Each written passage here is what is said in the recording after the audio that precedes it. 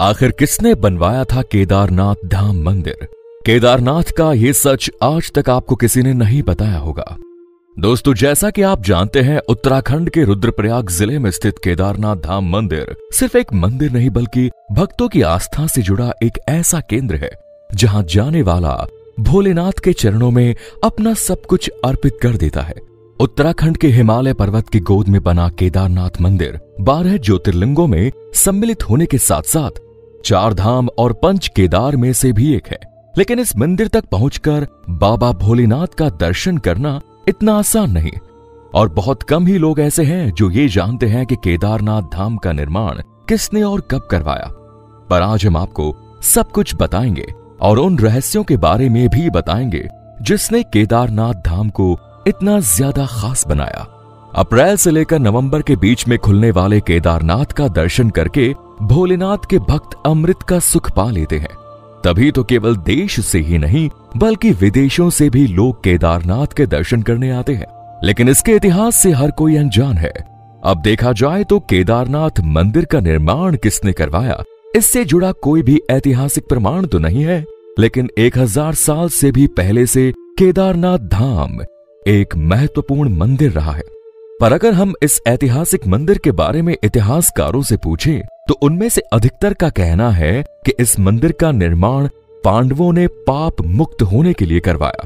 कुरुक्षेत्र की भूमि में 18 दिनों तक लड़े गए महाभारत के युद्ध के बारे में तो आप सभी जानते हैं, जिसमें लाखों करोड़ों की जाने गई, खून नदी की तरह बह रहा था।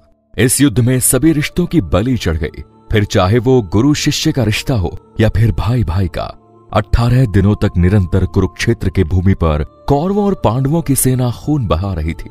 जब महाभारत का युद्ध खत्म हुआ तो इस युद्ध में जीत तो पांडवों की हुई, लेकिन तब तक उन्होंने भी बहुत कुछ खो दिया था। युद्ध समाप्त हुआ तो पांडव बैठकर श्री कृष्ण के साथ युद्ध के बारे में बातें कर रहे थे। उसके परिणाम के बारे में सोच रहे थे। तभी भगवान श्री कृष्ण ने पांडवों को पश्चाताप करने के लिए कहा क्योंकि इतने बड़े युद्ध में उन्होंने लाखों लोगों की बलि दी और करोड़ों लोगों को मारा और ये सब उन्होंने राजपाट अपने नाम करने के लिए किया, जिसका पश्चाताप उन्हें अवश्य करना चाहिए, क्योंकि पांडवों के ऊपर ब्रह्म हत्या, गोत्र हत्या और गुरु हत्या जैसे कई सारे पाप चढ़ चुके थे, जिसके लिए उनका प्रायश्चित करना बहुत ज़रूरी था। जब पांडवों ने श्री कृष्ण से इसका उपाय पूछा तो उन्होंने बताया कि तुम्हारे इन पापों की मुक्ति केवल भगवान भोलेनाथ ही तुम्हें दे सकते हैं, जिसके बाद सभी पांडव भगवान श्री कृष्ण की आज्ञा और आशीर्वाद लेकर भगवान शिव से मिलने के लिए काशी की तरफ़ निकल चले।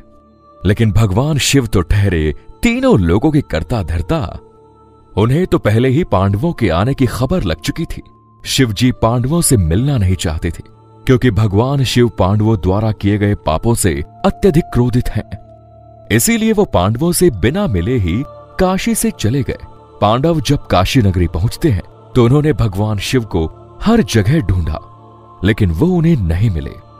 माता पार्वती से पांडवों की यह स्थिति देखी नहीं गई, लेकिन उन्होंने पांडवों को ज़्यादा कुछ नहीं बताया। बस इतना बताया कि भोलेनाथ उनसे अत्यधिक क्रोधित हैं, और इसीलिए वो पांडवों से मिलना नहीं चाहते, और हिमालय की ओर चले गए। अब प्रायश्चित तो करना ही था। इसीलिए सभी पांडव हिमालय की ओर निकल जाते हैं, जिसके लिए वो उत्तराखंड के गढ़वाल क्षेत्र में पहुँचते हैं। भगवान शिव भी पांडवों से छुपकर यहीं आए थे।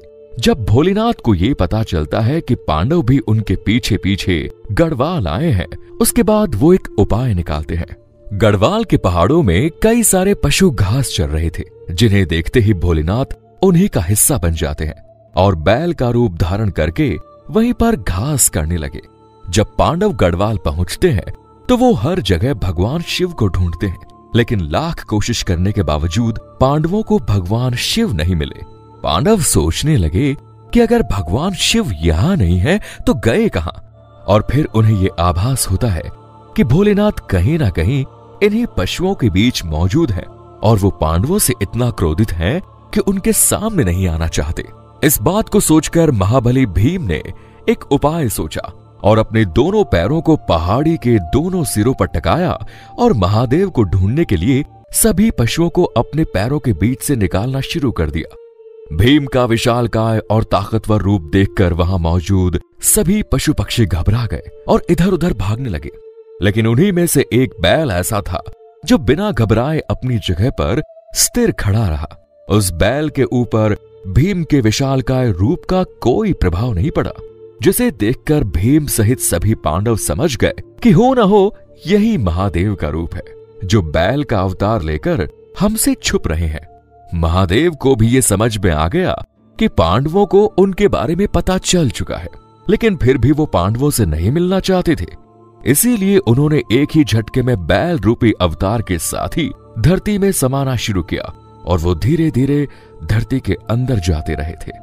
भगवान शिव के बैल रूपी अवतार को धरती में समाते देख भीम तुरंत उनकी तरफ़ लपकता है और बैल की पीठ अपने हाथों से जकड़ लेता है। भीम के द्वारा बैल की पीठ अपने हाथों से जकड़े जाने के कारण बैल की पीठ वहीं पर रह गई, जबकि उसके अन्य चार भाग उत्तराखंड के चार अन्य स्थलों पर निकले। और आज उन्हें अन्य स्थलों पर चार अन्य केदार मौजूद है। जैसे कि भगवान शिव के बैल रूपी अवतार का मुख रुद्रनाथ में, बुझाए तुंगनाथ में, नाभि मध्यमेश्वर में और जटाए कल्पेश्वर में। और इन्हीं पाँचों जगहों को सम्मिलित रूप से पंच केदार के नाम से जाना जाता है, जो कोई भी भगवान शिव का सच्चा भक्त है और उनके दर्शन करना चाहता है। वो पंच केदार के दर्शन करना कभी नहीं भूलता। अब सवाल यह है कि केदारनाथ मंदिर को बनवाया किसने? और इसका क्या इतिहास रहा? तो दोस्तों, इसे जानने के लिए आपको आगे की कहानी सुनना बहुत ज़रूरी है। क्योंकि भीम ने जब भगवान शिव के बैल रूपी अवतार की पीठ पकड़ी थी तो वो वहीं पर रह गई थी। लेकिन जब उन्हें शिवजी के बाकी चार अंग अलग अलग स्थानों पर प्रकट होने का ज्ञात हुआ, तब उन्होंने शिव की महिमा को समझ लिया। इसके बाद पांडवों ने इन पाँचों जगहों पर शिवलिंग की स्थापना करके शिव मंदिर का निर्माण करवाया। तब जाकर कहीं भगवान शिव सभी पांडवों से खुश हुए और उन्होंने पांडवों को उनके सभी पापों से मुक्त कर दिया। हालाँकि इसके बाद पांडवों के पोते जन्मे जय ने केदारनाथ मंदिर के निर्माण को और आगे बढ़ाया और यहाँ पर आम लोगों को पूजा करने की अनुमति प्रदान करी। इसीलिए केदारनाथ मंदिर में जन्मेजय का योगदान माना जाता है। पर समय के साथ ही पांडवों द्वारा बनाया गया ये मंदिर जर्जर हो गया और कई जगह से क्षतिग्रस्त हो गया। लेकिन जब भारत की भूमि में शंकराचार्य ने जन्म लिया और उन्होंने संपूर्ण भारत भूमि की पैदल यात्रा करी तो उन्होंने चारों दिशाओं में चार धाम की स्थापना करी और उस वक्त आदि शंकराचार्य ने केदारनाथ मंदिर का पुनः निर्माण करवाया, जो आज भी उत्तराखंड में मजबूती के साथ खड़ा हुआ है। तो क्या आप भविष्य में ये अनुभव लेना चाहेंगे या फिर क्या आप केदारनाथ की यात्रा कर चुके हैं? अपना जवाब कमेंट्स में बताना ना भूलें। और इसी तरह के रोचक और जानकारी से भरपूर वीडियोस देखते रहने के लिए चैनल को सब्सक्राइब करना ना भूलें। धन्यवाद।